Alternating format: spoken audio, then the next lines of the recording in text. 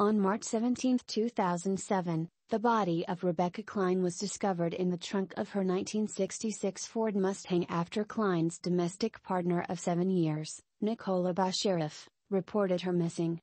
Klein was found bound with duct tape, gagged with a bandana, blindfolded, and suffocated with a plastic bag over her head.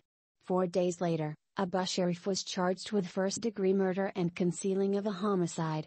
Villa Park police officers believe Abusharif killed Klein on March 15, 2007, two days before her body was found.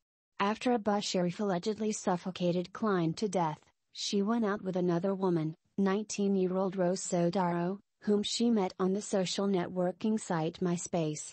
That night, Abusharif and Sodaro went bowling in Tinley Park, then returned to Abusharif's home where they engaged in sexual intercourse.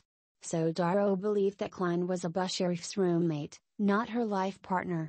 In addition to her relationship with Sodaro, police also believe that Abusharif was motivated to kill Klein due to a $400,000 insurance payout. Forensic scientists found fingerprints on the duct tape and plastic bag belonging to Abusharif, as well as her DNA on the bandana.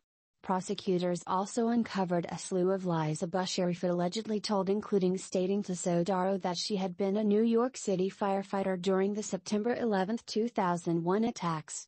Abusharif, who was also an alcoholic, claimed to have liver cancer and told Sodaro that her alcoholism would lead to her death. Abusharif also brought Sodaro to a funeral home, where she dramatically selected her own casket. During the police's investigation into the murder of Klein, Abusharif's co-worker at a Des Plaines security company, Robert L. Edwards, was charged with five counts of obstructing justice for allegedly lying about his whereabouts when Klein was believed to have been murdered. Police focused on Edwards during their initial investigation because he was at Abusharif and Klein's residence on March 16, 2007 during the search for Klein. He later admitted to police that he and Abusharif were drug buddies who shared wild sex fantasies.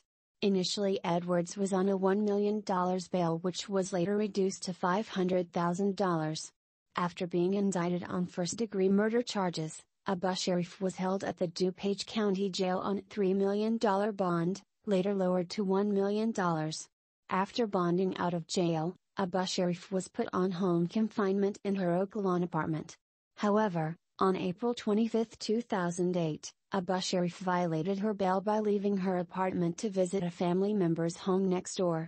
Although Assistant State's Attorney Joseph Ruggiero applied to have Abusharif's bail revoked, her bail was only increased by $100,000. She returned to county jail, but was back out on bail before her trial began. In November 2008, Robert L. Edwards went to trial on charges of obstructing justice. Villa Park police still believed he was not involved in Becky Klein's murder, but he was convicted of the obstruction charges and sentenced to 75 days at the DuPage County, Illinois work camp. Nicola Abusharif's jury trial commenced on April 20, 2009. Though Robert Edwards did not testify for the prosecution, Rose Sodaro did, as well as many members of Klein's family. Sharif also testified in her own defense. When confronted with the evidence against her, she admitted lying during the police investigation. The defense hinged on whether Abusharif would have been physically able to kill Klein. Abusharif's defense attorneys, Bob Parcham and Dennis Zapata, maintained that Abusharif had a bad back, and would not have been able to subdue Klein, who weighed 40 pounds more than her. While Abusharif's attorneys were skeptical of gaining an acquittal, they were able to prove that Klein's murder was not cold, calculated and premeditated, as the prosecution requested. That eliminated the possibility for a sentence of life in prison without parole. On May 5, 2009, Abusharif was convicted of first degree murder in the death of Becky Klein after 13 hours of jury deliberation. She faced up to 60 years in prison, but Judge John Kinsella sentenced Abusharif to 50 years incarceration. She will have to serve 100% of her sentence before being eligible for parole, at the age of 76. Abusharif's conviction was affirmed by the 2nd District of the Illinois Appellate Court on March 4, 2011.